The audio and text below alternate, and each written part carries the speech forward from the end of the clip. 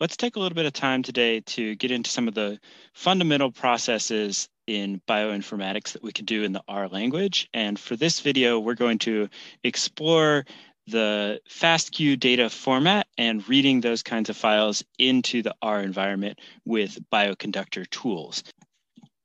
Okay, so here we are in the RStudio interface, and we're gonna need to set up a couple of tools for this exercise today. The first one is a bioconductor library called uh, Short Read. And I'm gonna post a link with this video with some instructions on installing that library. The other one we're gonna need is the library ggplot2. So if you haven't already done so, uh, we downloaded a file with the SRA toolkit.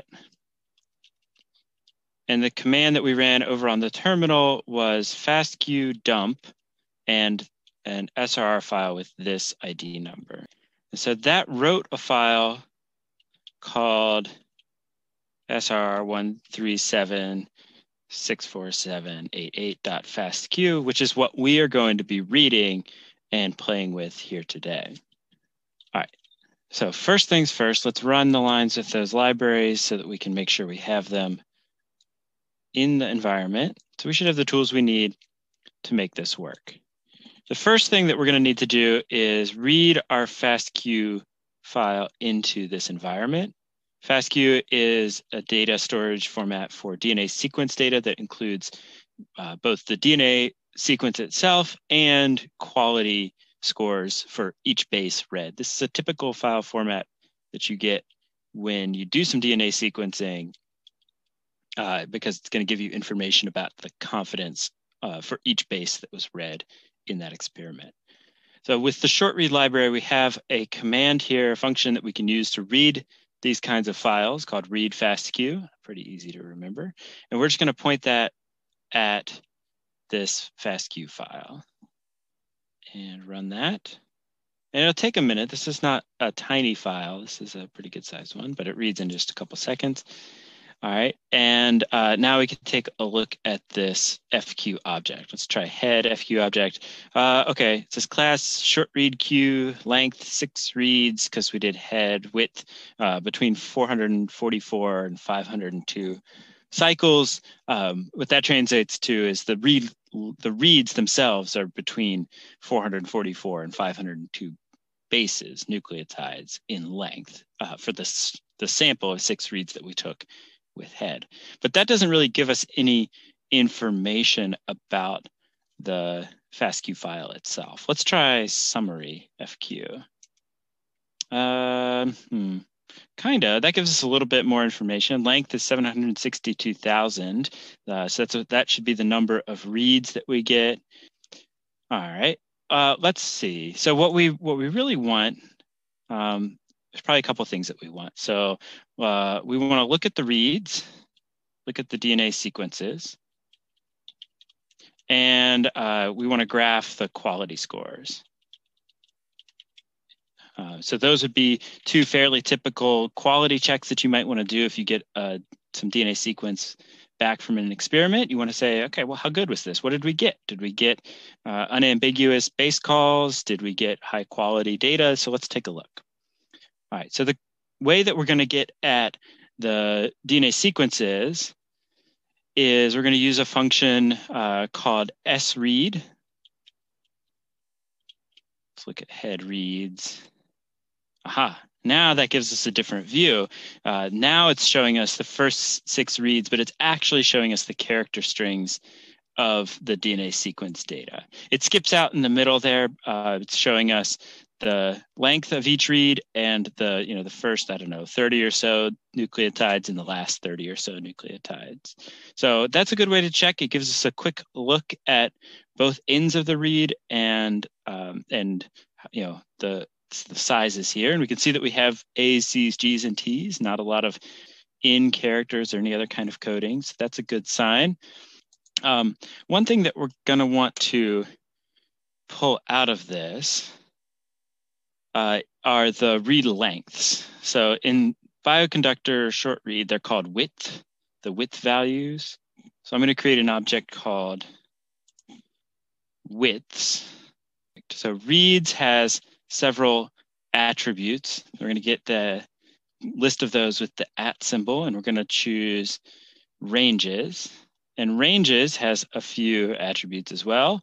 Uh, and the one we want here is the width attribute, which roughly corresponds, or no, should be exactly the data that's in this width column uh, here in the DNA string set object.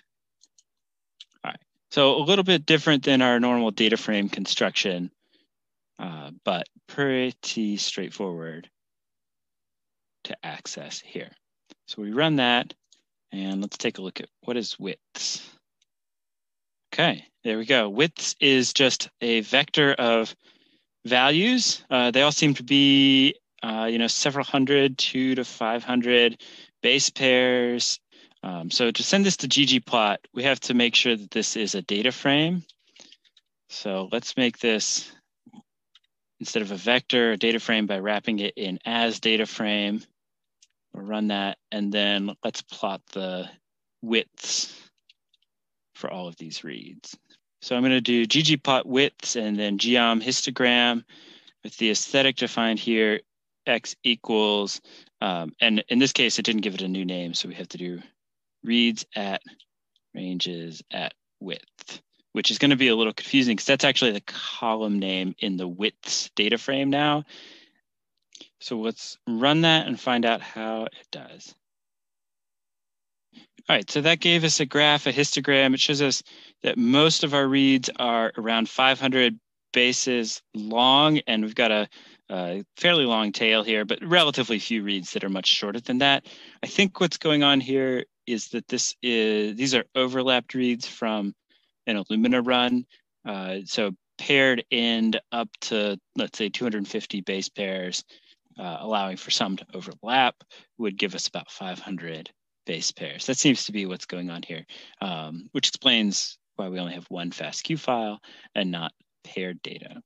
Uh, so that simplifies things a little bit, uh, but this is typical. You would expect whatever your read length is on uh, an Illumina run to, to be the, the top of your histogram, but there's always a little bit of variation in those data sets. All right. This kind of operation can be really informative for long read strategies, uh, and we may take a look at that at another time. All right, let's graph the quality scores. So to get the quality scores, we're going to use the function quality to pull that out of the FQ object. Okay, that's kind of cool. Um, so the that by itself uh, probably doesn't mean a whole lot to you. These are Phred quality scores. And uh, if you work with these a lot, you'll get a feel for the fact that letters are usually a good sign for your qualities. Uh, symbols, not such a good sign. The farther you get down into punctuation, the less of a good sign that is. And we typically see higher qualities at the beginning of the read and lower qualities towards the end of the read, which can be informative for, um, you know, for sequence quality degradation. We might want to trim off the ends of these uh, where, the, where we see poor quality. But today we're going to calculate the average quality score. Okay, so, uh, so this B string set object, we can't just plot this directly. And besides, these are characters when what we want is a numeric value. Uh, luckily, what's actually being stored behind this object are numeric values. So we just have to switch this around in form a little bit to uh, to uh, to be able to access those. So we're going to do a couple things. Um, so we're going to convert these to numeric Q scores by converting this to a matrix. So we're going to convert from the object qual to an object matrix. Uh, object quals to an object of the matrix type. And when that's done, we're going to calculate the average quality score for each read, which is now going to be each row in the matrix. We're going to get that by using the function row means.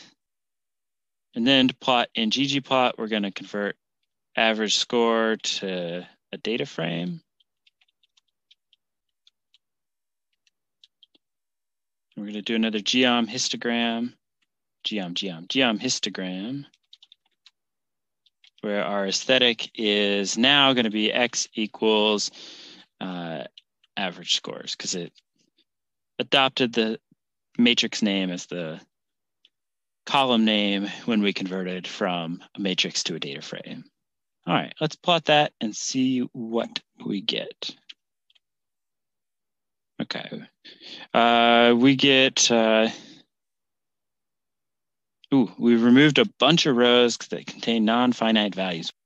Okay, but we uh, we lost a bunch of reads in that last ggplot. So we want to go back and uh, and change how we're treating the row means calculation because some of the you know the, we had to convert this to a matrix. So the width of the matrix is the width of the longest read, and every every column is the base, the quality score for a base along each of those reads. So there's a bunch of NA values. This is the quality distribution then for just the longest reads. So what we want to do is change the argument NARM to be equal to true. So that should remove NAs, uh, so those null values from the calculation and then calculate means for every row instead of just some of the rows. And we plot the distribution.